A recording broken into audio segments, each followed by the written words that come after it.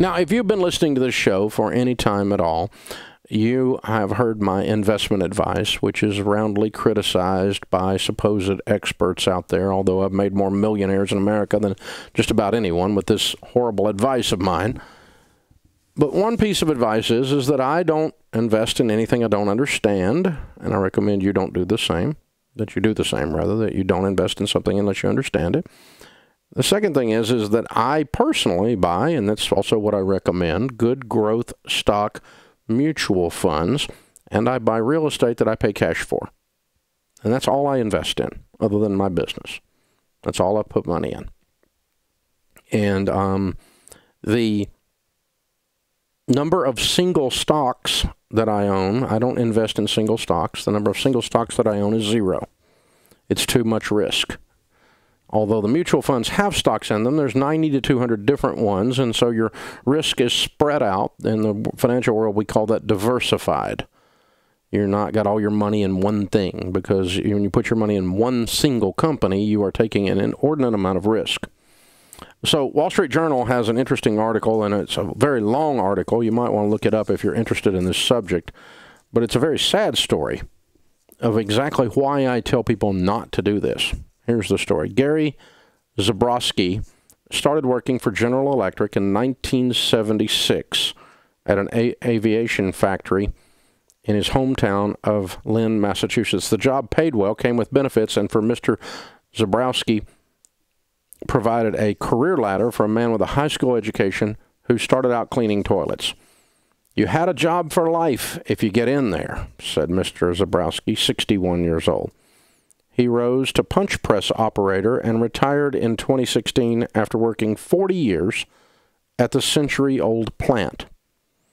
He left GE with an annual pension of $85,000. Wow. And company stock valued at more than 280,000.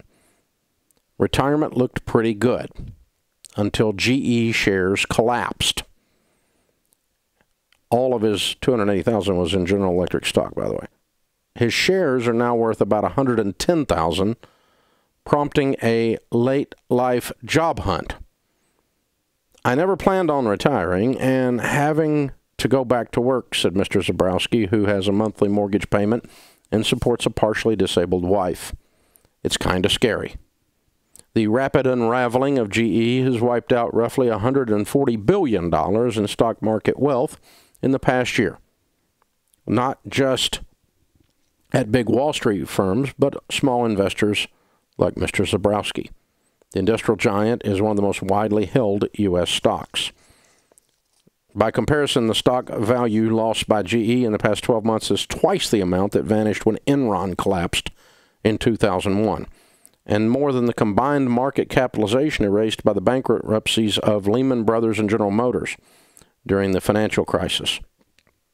Longer term, GE's market cap has fallen more than 460 billion since its 2000 peak. Now, this is not a segment where Dave Ramsey picks on General Electric. That is not what this is about. Um, and by the way, let's do a little bit of quick math here. Mr. Zabrowski started with 280,000. Now he has 110,000. He did not lose all his money. He lost half of it, just a touch over half of it, but he did not lose all his money. Um, so what what is the problem here? Well, there's two problems in this. Number one problem is is that he had all of his retirement nest egg in one single stock, and nowhere in the process did he learn, being the owner of almost three hundred thousand dollars, that that was a bad idea had that been diversified, I own mutual funds that own General Electric, and uh, their value was affected in a negative way by the fact that those that General Electric stock is in there, but it didn't affect me by half. It affected me a tiny, tiny bit, and the other stocks in the mutual funds went up more than General Electric went down. And so, actually, the net effect was that my mutual funds made money, even though they owned General Electric in there. That's the power of diversification. Spreading out your investments lowers your risk. He basically went to the racetrack and took $280,000 and placed a bet on one horse. And that horse came up lame. That's what this is.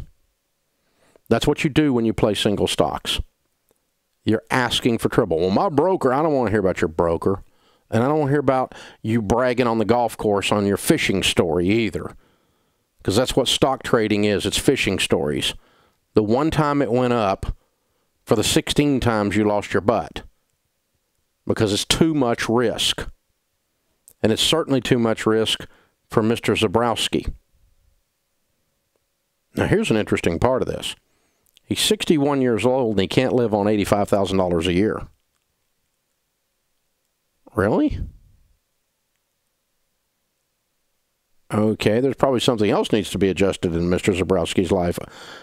Because if his if his stock became worth zero, he has a pension of eighty five thousand dollars a year.